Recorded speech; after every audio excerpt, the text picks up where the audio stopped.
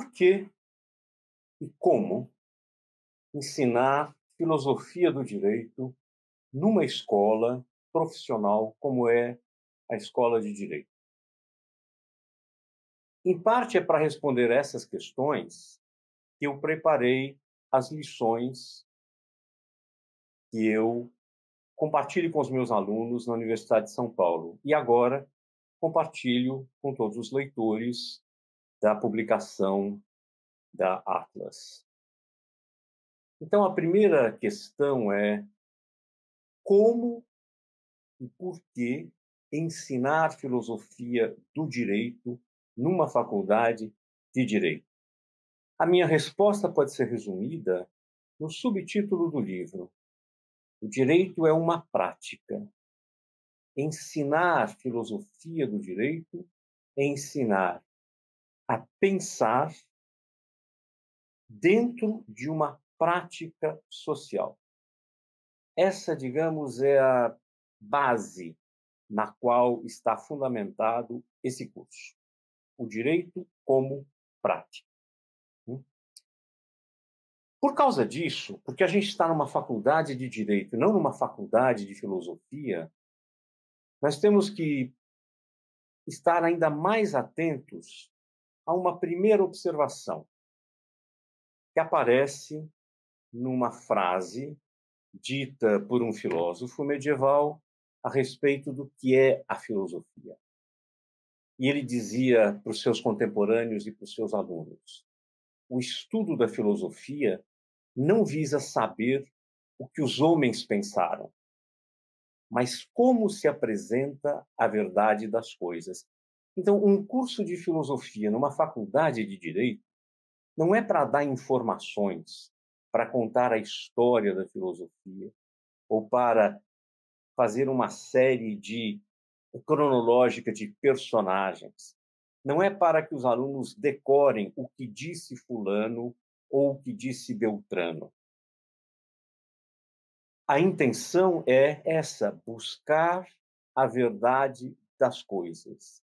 E no caso do direito, entender propriamente o direito. Mas todo mundo que entra a fazer parte da academia, a ser professor e depois a ser pesquisador, não começa do nada. E eu gostaria de dizer, então, em primeiro lugar, de onde vem a minha preocupação com a filosofia do direito e, portanto, que espécie de curso eu posso oferecer. A primeira coisa a lembrar é que eu tenho alguns autores que me influenciaram. Esses autores são essencialmente autores do século XX, século passado, da segunda metade do século passado. E eles me influenciaram porque eles davam uma resposta diferente à resposta tradicional. A resposta tradicional que a gente ouvia nas faculdades de direito era que o direito é um conjunto de normas. Por isso, essa ilustração aí, as tábuas da lei. Aprender direito seria aprender a decorar as normas jurídicas. E uma segunda resposta, a resposta que a gente chama em filosofia a resposta cética, que eu ouvi de uma pessoa que ensinava direito e filosofia do direito, era que o direito é uma fantasia, é uma ficção, não é verdade, é como Papai Noel. Então, a minha tentativa de responder essas duas indagações, ou melhor, essas duas maneiras de enxergar o direito, que são muito comuns nas faculdades de direito do Brasil, ou o direito é lei, e eu aprendo direito decorando as leis, ou o direito é uma grande fantasia, não serve para nada, é uma ficção, é como o Papai Noel. Né? Essas duas grandes maneiras de interpretar o direito me pareciam equivocadas. E eu me apropriei, portanto, desses autores que ajudaram na minha formação e que são autores com os quais eu dialogo durante todo o livro e durante todo o curso, quando eu sou professor. Esses autores introduziram algumas novidades. Na verdade, eles começam a levar a sério novamente algo que havia em parte sido ocultado ou estava adormecido na filosofia do século XIX e da primeira metade do século XX, que é a filosofia da ação. Esses autores, pela ordem cronológica que eles aparecem no século XX, são esses que estão aí nas suas, na sua ilustração, nos seus retratinhos. O primeiro é Ludwig Wittgenstein. Wittgenstein nos dá uma ideia do que é o pensamento e do que é o exercício da razão que vai contra uma tradição anterior que via exclusivamente como pensamento o exercício do cálculo, o exercício da estratégia.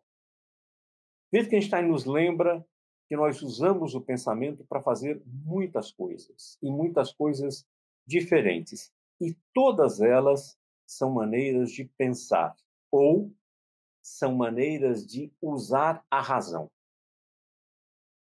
Ele nos dá um exemplo eh, quando fala que eu posso usar a razão, ou a linguagem, como ele vai dizer, tanto para demonstrar uma, um axioma, como para demonstrar uma equação matemática, quanto para relatar uma história.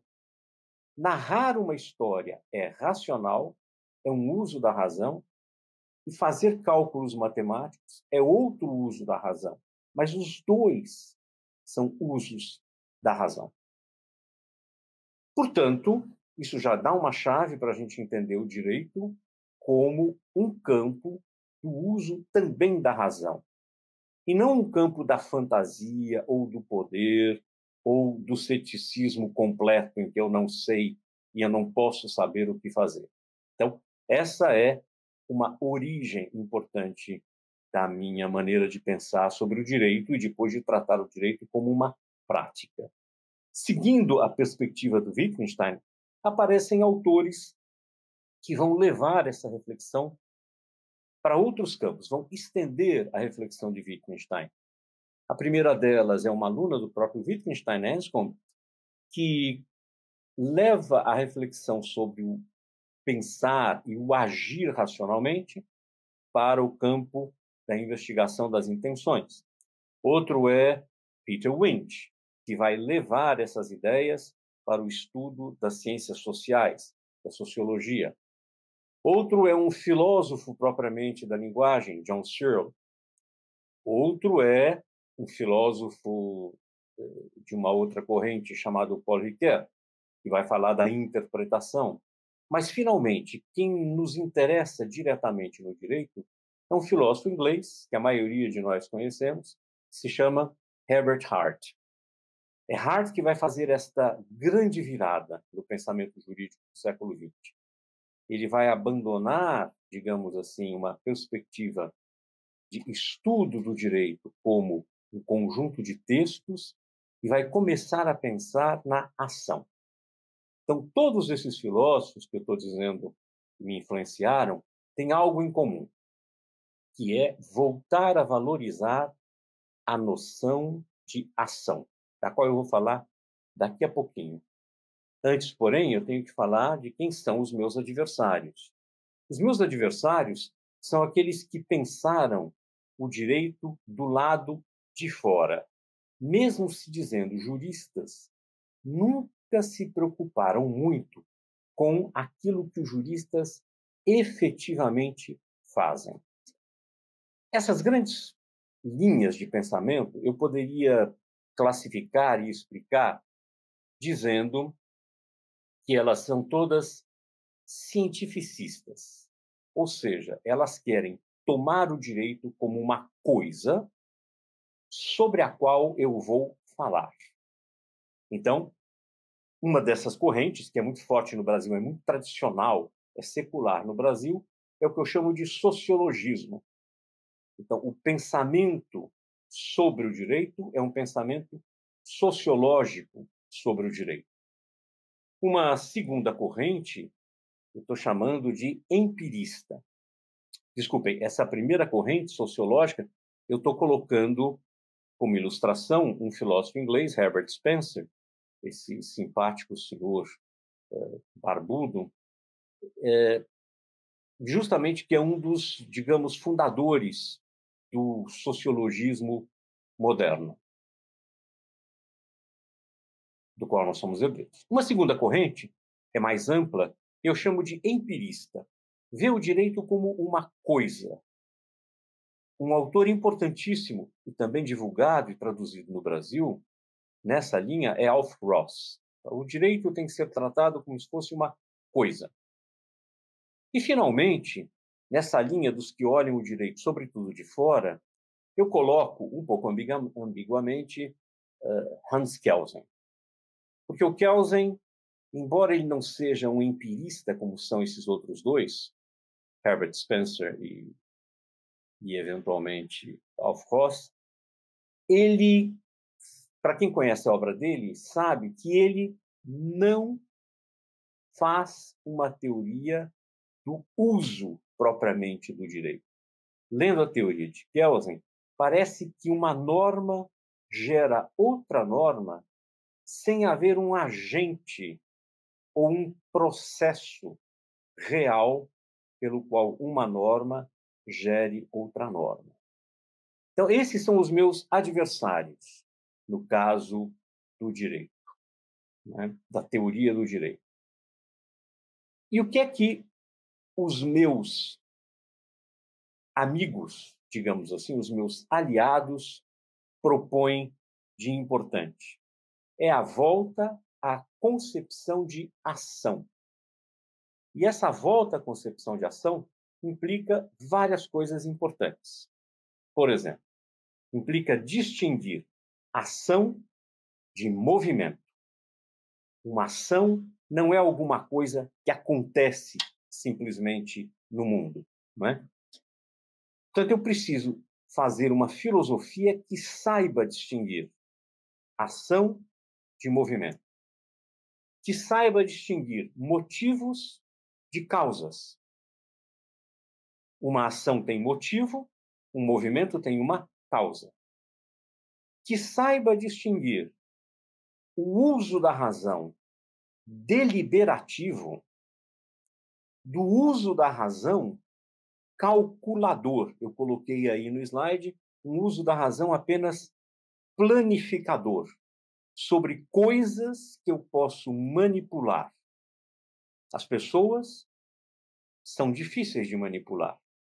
Então, quando eu delibero sobre o que fazer, eu tenho uma espécie de pensamento, e quando eu delibero sobre o que fabricar, eu tenho outra espécie de pensamento. Isso gera uma distinção que é importante, é tradicional na filosofia, entre a razão ética ou razão prática e a razão técnica, uma outra esfera da razão prática. Então, eu tomo dos meus aliados essas distinções todas, porque todos os meus aliados que eu apresentei antes concordam que há uma diferença fundamental entre uma ação e um movimento, entre o que acontece simplesmente e o que eu faço. E é nessa diferença que aparece a possibilidade de eu pensar o direito no campo do, da deliberação e não apenas, ou não principalmente, no campo da fabricação das coisas. Então, isso é importante porque eu, eu abro a possibilidade de conversar com o que os juristas realmente fazem. Porque os juristas realmente deliberam, eles não fabricam. E é por isso, porque eles não fabricam, que eles não têm um manual de instruções para lidar com as máquinas, seja como consumidor, seja como fabricante, eu tenho um manual de instruções. E se eu seguir o manual de instruções, a máquina vai funcionar Ou, se eu estiver fabricando, a máquina vai ser finalmente construída. Porque é, uma, é um uso da razão que a gente chama técnico. Mas os juristas, embora quisessem, ao longo do século XIX e primeira metade do século XX, fazer técnica, nunca conseguiram. Porque se trata de um outro uso da razão. Então, o direito como prática é esta concepção do direito que recupera a noção de ação não como um movimento, não como algo que acontece no mundo. Né? Então, na verdade, eu abandono vários dos juristas que foram uh, muito populares no século XX para me aproximar, sobretudo, de filósofos que nos mostram essas diferenças. Outro ponto fundamental é, uma vez que eu faço essa transição, eu começo a tratar da razão como capacidade de usar uma linguagem e de compreender uma linguagem. A razão, portanto, deixa de ser cálculo apenas, deixa de ser apenas previsão e passa a ser compreendida, como foi tradicionalmente na filosofia, como a capacidade de compreender, em primeiro lugar, uma linguagem. Mas as linguagens existem para cada campo da prática. E é por isso que a imagem mais interessante para eu explorar essa ideia de prática é justamente a ideia de jogo. Quando eu estou dentro de um jogo, eu sei usar as regras do jogo e eu, dentro desse jogo, falo certas coisas que os outros jogadores são capazes de compreender. Então, quando eu digo impedimento num jogo de futebol, eu não estou querendo dizer que aquele jogador tem que ser expulso do campo como acontece no direito constitucional. O impedimento é a retirada de um jogador, presidente da República, do jogo. Não. No jogo de futebol, impedimento significa outra coisa. Então, as, os jogos têm a sua linguagem e eu compreendo os jogos dentro das suas linguagens. Né? Cada jogo, jogo de xadrez, um jogo de futebol, um jogo do processo civil, um jogo do processo penal, um jogo do processo legislativo, cada um desses tem as suas regras. Existe gente que não consegue apreender as regras, não consegue jogar adequadamente o jogo. Então, pensar o direito como prática é pensar nessa dimensão.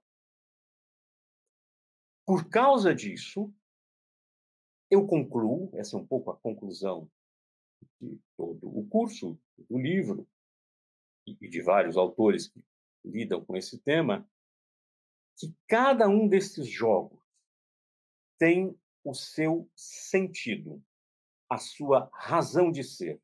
Eu não posso entrar num jogo de futebol sem saber o que eu vou fazer, o que o meu time tem que fazer. O que é que eu faço quando eu entro no jogo de futebol, eu tenho o sentido do jogo. A pergunta, portanto, é: será que o jogo do direito tem algum sentido?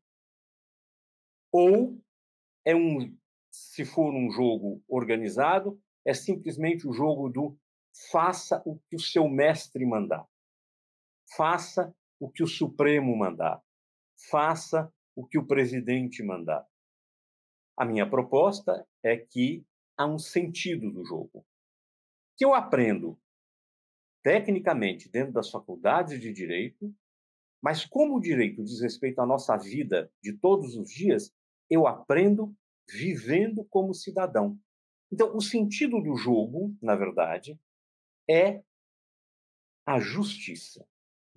Um tema que, estranhamente, não frequenta as faculdades de direito. Não há cursos que nos permitam entender conceitualmente o que é a justiça. Pelo contrário, a maioria dos juristas acha que não precisa saber nada de justiça, que isso é que isso pertence a outra disciplina. Não, a justiça é o sentido do nosso jogo, do jogo jurídico.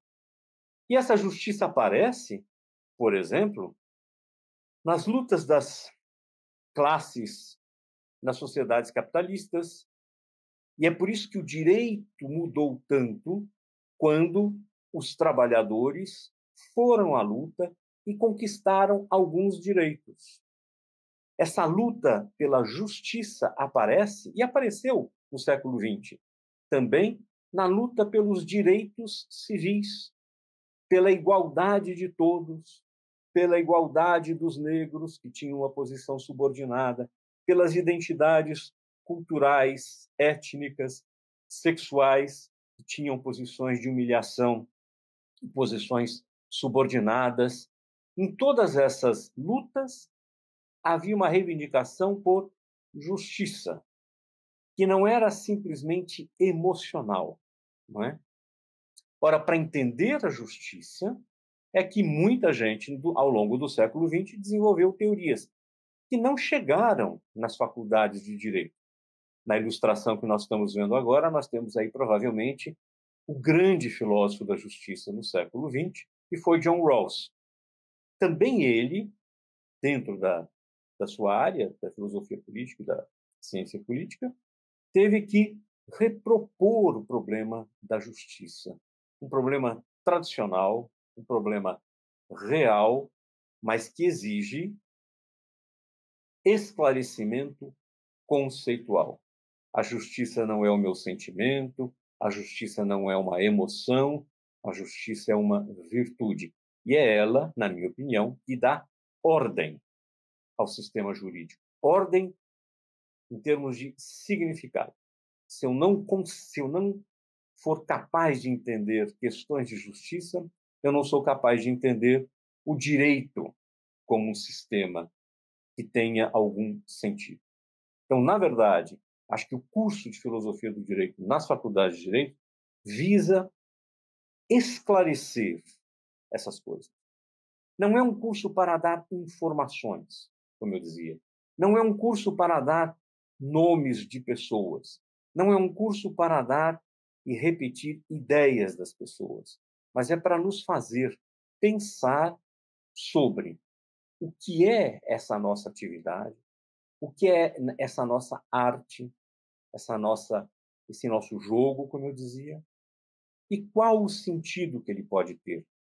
E mais, como nós jogamos bem esse jogo numa discussão de anos atrás com um colega meu, que achava que as verdadeiras ciências do direito são aquelas que descrevem o direito, eu fazia um exemplo para ele. Eu dizia: como você ensina o seu filho a falar português? Seu filho, na época ele tinha uma, um filho pequeno ainda, né? Seu filho de dois anos, de um ano, que vai começar a falar o português. Você não o ensina descrevendo o português, dando as regras da gramática do português e nem contando uma história de como o português surgiu e como o português se distanciou do latim, que é a sua maior fonte. Não é isso que você faz quando você quer ensinar o seu filho a falar português. Da mesma maneira, se o direito é uma prática, não é falando de coisas sobre o direito do lado de fora, como sociólogo, como historiador, talvez como economista, qualquer dessas coisas, não é assim que eu ensino os meus alunos a pensarem juridicamente. É por dentro do próprio direito. É mostrando que o direito tem um sentido, e esse sentido aparece em todas as áreas do direito. O processo civil tem regras que o definem e que vêm de uma ideia de justiça, por exemplo, como imparcialidade. A mesma coisa vale para o processo penal. A mesma coisa vale para o direito tributário. Há uma justiça na tributação. E tem certas coisas que eu faço em nome da justiça no direito tributário. E assim em todas as áreas. E a coisa mais curiosa é a gente perceber que na faculdade de direito não há, em geral, espaço para essa discussão, mesmo nos cursos de filosofia, que em geral são cursos em que eu fico mais narrando o que os filósofos disseram do que pensando sobre essas questões fundamentais. Eu diria, portanto, que essa é a razão, o como e o porquê de fazer um curso de filosofia do direito na faculdade de direito. E essa é, no fundo, a razão pela qual eu dei a público essas lições. Muito obrigado pela paciência de me ouvirem.